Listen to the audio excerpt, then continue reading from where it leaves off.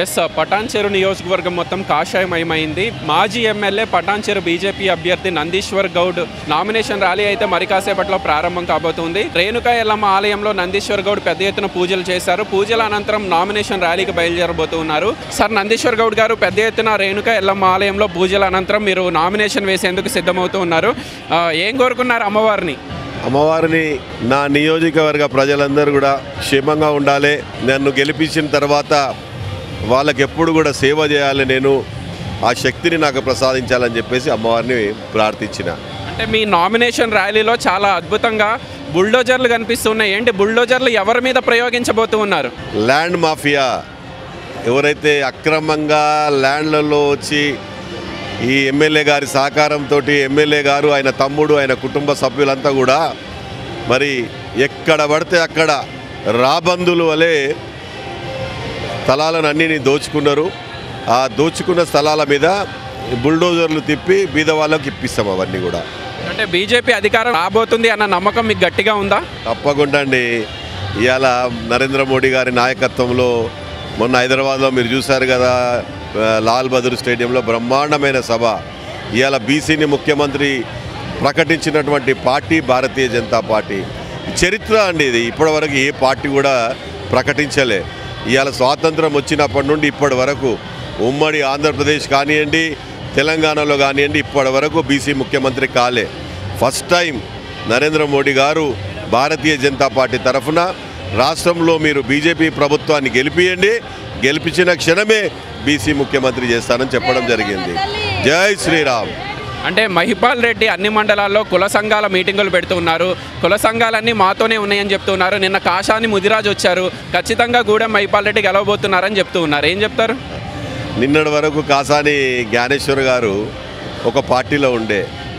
ఆయన ఒకప్పుడు నేను ఆయనను గౌరవిస్తా ఆయన పెద్ద నాయకుడే క్యా- బీసీల్లో ఒక మంచి నాయకుడే. ఆయన యుగం అయిపోయింది ఇప్పుడు. ముప్పై సంవత్సరాల క్రింద ఉండే ఇప్పుడు ఎవరైనా చెప్తే వినే పరిస్థితి లేరు ఇక్కడ. ఇవాళ మొత్తం అండి చదువుకున్న వాళ్ళు ఎక్కువైపోయారు. పద్దెనిమిది సంవత్సరాల నుంచి నలభై సంవత్సరాల వరకు మిడిల్ క్లాస్ కానీ అప్పర్ క్లాస్ కానీ చాలామంది ఇవాళ బాగా విద్యావంతులయ్యారు. వాళ్ళు ఆలోచిస్తున్నారు ఎవరికి ఓటేయాలని. అంతే తప్ప కుల సంఘాలను దగ్గర తీసుకొని వాళ్ళకి డబ్బులు ఇచ్చి దోచుకున్న సొమ్ములు ఉన్నాయి కాబట్టి ఇస్తున్నాడు ఆయన. అవి తీసుకుంటారు భారతీయ జనతా పార్టీకి ఎందుకు ఇస్తారు భారతీయ జనతా పార్టీ కంటే బీసీ ముఖ్యమంత్రి కొరకు? రేపు అధికారంలోకి వస్తే బీసీ ముఖ్యమంత్రి అవుతాడనే పూర్తి విశ్వాసం. అదే నరేంద్ర మోడీ గారు చెప్పారు కాబట్టి తప్పకుండా మా పార్టీ మీద కుల సంఘాలు ఈ బీసీ సంఘాలు అన్నిటి కూడా మా మీద విశ్వాసం ఉంది. ఇతర అభ్యర్థులకు కాకుండా నందీశ్వర్ గౌడ్కి బీజేపీకి పటాన్చెరు ఓటర్లు ఎందుకు ఓట్లేయాలి? బీజేపీ నేను సిన్సియర్గా ఆనెస్ట్గా నేను ఐదు సంవత్సరాల నుండి భారతీయ జనతా పార్టీకి పనిచేస్తా ఉన్నాను. ఇక్కడ సమస్యల పైన పోరాడుతున్నా నేను. ఏ ఒక్క వ్యక్తి కూడా ఈ మైపాల్ రెడ్డికి వ్యతిరేకంగా గలం విప్పలే. ఇలా కాంగ్రెస్ వాళ్ళు ఉన్నారు ఇక ఇతర పార్టీ వాళ్ళు ఉన్నారు ఎవరు కూడా ఆయన కోసం మాట్లాడలే. ఆయన చేసే అక్రమాలు ఆయన చేసే గుండాయిజము ఆయన చేసే అరాచకాలను నేను ఎదిరించిన.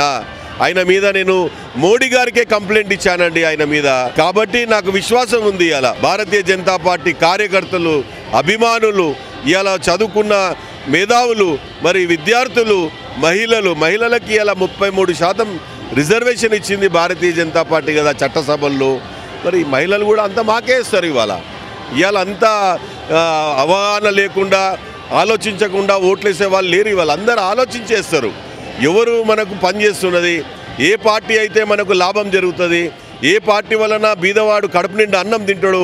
ఇవాళ ఐదు సంవత్సరాలు ఇంకా మరి బియ్యం కూడా ఉచితంగా ఇస్తానని నిన్ననే మొన్ననే లాల్ బహదూర్ స్టేడియంలో ప్రధానమంత్రి గారు ప్రకటించారు కదా బీదవాళ్ళు కూడా మా ఎంబడి ఉన్నారు ఇవాళ. తప్పకుండా భారతీయ జనతా పార్టీ గెలుస్తుంది. మీకు చివరి ఎన్నిక అనుకోవచ్చా? నందీశ్వర్ గౌడ్కి ఇది చివరి ఎన్నిక అనుకోవచ్చా? ఇది మీ అబ్బాయిలు ఉన్నారు కదా. నేను ఎందుకంటున్నా అంటే నా వయసు ఇప్పుడు అరవై ఏళ్ళు. నేను ఈ election last election. Next election ఆ భగవంతుని కృప ఎవరి మీద ఉంటే వాళ్ళు అవుతారు నాకు రాజకీయ వారసులు కానీ నాకు ఎవ్వరు లేరు. ఎవరు కష్టపడి పైకొస్తే వాళ్ళే నాయకులు. ఇది నాకు ఈ నా ప్రజలే నా కుటుంబం.